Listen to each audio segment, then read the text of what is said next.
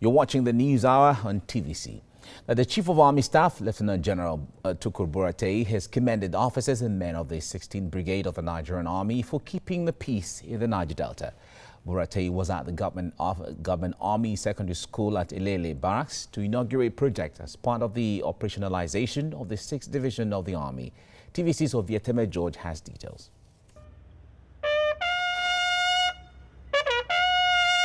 Chief of Army Staff, Lieutenant General Tukur Buratai, was at the Elele barracks of the Nigerian Army, where the long-neglected Government Army Secondary School is now wearing a new look. The renovation of the institution was undertaken by the Brigadier General Kelvin Aligbe-led 16th Brigade. The brigade embarked on the said projects in order to positively impact on lives both within and around the barrack community in Elele. Similarly, the construction of the brigade workshop repair bay will in no small measure increase the formation's operational efficiency. All the projects mentioned so far are geared towards enhancing the well-being of troops as well as creating suitable space for the Elele Barracks community to thrive. We were therefore compelled by a sense of duty to give our children in this community the dignity they deserve in their place of learning and character development. Permit me at this juncture to appeal to members of the Elele Barracks community to put these projects to proper use and make good efforts to maintain them.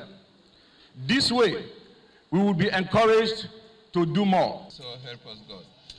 Lieutenant General Tukur Buratai also inaugurated a purpose-built workshop repair bay before inaugurating the Nigerian Army Officers' Wives Association Vocational Training Center and Barrack Squash Court.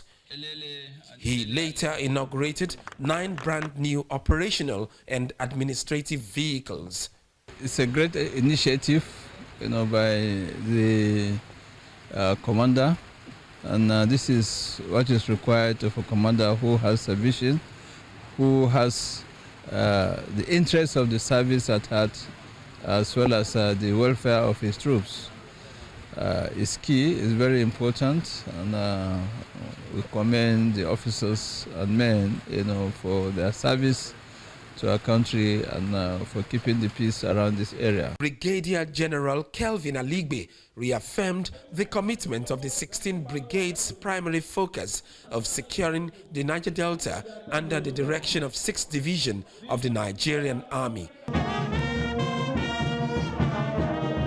Ovieteme George, TVC News, Elele, River State.